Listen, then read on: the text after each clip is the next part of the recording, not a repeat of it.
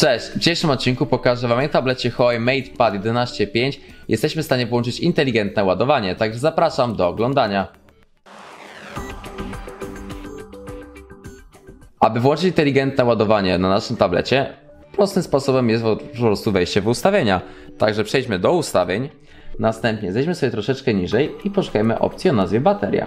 Klikamy opcję baterii i mamy tutaj opcję o nazwie stan baterii. Klikamy to jak widzicie pierwszą opcją mamy inteligentne ładowanie.